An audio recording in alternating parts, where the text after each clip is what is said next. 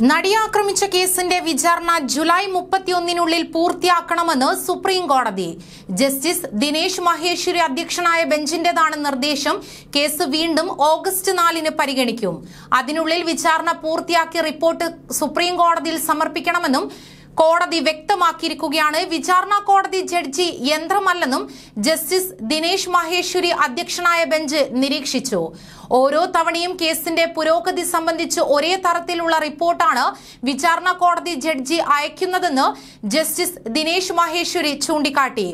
അതേസമയം വിചാരണ വൈകുന്നത് ദിലീപിന്റെ ഭാഗത്തു നിന്നുണ്ടാകുന്ന വീഴ്ചയെന്ന് സംസ്ഥാനം സുപ്രീം കോടതി അറിയിച്ചു. സാക്ഷിയായ ബാലചന്ദ്രകുമാറിന്റെ വിസ്താരം ദിലീപിന്റെ അഭിഭാഷകർ നീട്ടിക്കൊണ്ടു പോകുന്നുവെന്ന് സംസ്ഥാനം കോടതിയിൽ പറഞ്ഞു. ഇരുപത്തിമൂന്ന് ദിവസമായി എതിർ വിഭാഗം ക്രോസ് എക്സാമിനേഷൻ നടത്തുകയാണെന്ന് സംസ്ഥാനത്തിനായി മുതിർന്ന അഭിഭാഷകൻ രഞ്ജിത് കുമാർ സ്റ്റാൻഡിംഗ് കോൺസൽ നിഷേരാജൻ ശങ്കർ എന്നിവർ കോടതിയിൽ വ്യക്തമാക്കി. എന്നാൽ ഓൺലൈൻ മുഖേനയുള്ള വിചാരണയിൽ സാങ്കേതിക പ്രശ്നങ്ങളുണ്ടെന്നും സാങ്കേതിക പ്രശ്നങ്ങളുടെ പേരിൽ തന്നെ കുറ്റപ്പെടുത്തരുതെന്നും ദിലീപിന്റെ അഭിഭാഷക രഞ്ജിത റോത്തഗി കോടതിയെ അറിയിച്ചു. ക്രോസ് വിസ്താരം പൂർത്തിയാക്കാൻ വേണ്ടത് അഞ്ച് ദിവസം കൂടിയെന്നും ദിലീപ് കോടതിയിൽ പറഞ്ഞു. അതേസമയം നടി ആക്രമിക്കപ്പെട്ട കേസിൽ പൾസർ സുനിക്ക് സുപ്രീം കോടതിയിൽ നിന്നും കനത്ത തിരിച്ചടി നേരിട്ടിരുന്നു. കേസിൽ ജാമ്യം അനുവദിക്കണമെന്നുള്ള സുനിയുടെ ഹർജി സുപ്രീം കോടതി തള്ളുകയായിരുന്നു. ഇതോടെ സുനി വിചാരണ തടവുകാരനായി ജയിലിൽ തുടരുകയും ചെയ്യും. ആറു വർഷത്തിലേറെയായി ജയിൽ വിചാരണ തടവുകാരനായി തുടരുകയാണെന്നും വിചാരണ അനന്തമായി നീളുകയാണെന്നും ചൂണ്ടിക്കാട്ടിയായിരുന്നു സുനി സുപ്രീം കോടതിയെ സമീപിച്ചത്. നേരത്തെ ഇതേ കാര്യം ഉന്നയിച്ച് ഹൈക്കോടതിയെ പൾസർ സുനി സമീപിച്ചിരുന്നു. എന്നാൽ ഹൈക്കോടതി ജാമ്യം തള്ളുകയായിരുന്നു. നടിയുടെ അടക്കം മൊഴികൾ പരിശോധിച്ച ശേഷമായിരുന്നു കോടതിയുടെ നടപടി.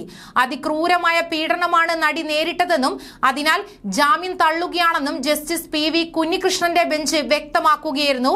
തുടർന്നാണ് സുനി വീണ്ടും സുപ്രീം കോടതിയിൽ ജാമ്യ ഹർജി സമർപ്പിച്ചത്. നടി കേസിൽ വിചാരണ പൂർത്തിയാക്കാൻ ഇനിയും സമയമെടുക്കുമെന്നും അതിനാൽ തനിക്ക് ജാമ്യം നൽകണമെന്നുമായിരുന്നു പൾസർ സുനിയുടെ ആവശ്യം. വിചാരണ സമയബന്ധിതമായി പൂർത്തിയായില്ലെങ്കിൽ ജാമ്യത്തിന് വേണ്ടി കോടതിയെ സമീപിക്കാൻ സുനിക്ക് അനുമതി നൽകിയിരുന്നു. ഇക്കാര്യം കൂടി വ്യക്തമാക്കിയാണ് സുനി കോടതിയെ സമീപിച്ചത്. എന്നാൽ സുപ്രീം കോടതിയിൽ നിന്നും തിരിച്ചടി നേരിട്ടതോടെ പുറത്തിറങ്ങാനുള്ള എല്ലാ വഴികളും ഇപ്പോൾ അടഞ്ഞിരിക്കുകയാണ്. രണ്ടായിരത്തി പതിനേഴിലാണ് ഓടുന്ന കാറിൽ വെച്ച് നടി ക്രൂരമായി പീഡിപ്പിക്കപ്പെട്ടത്.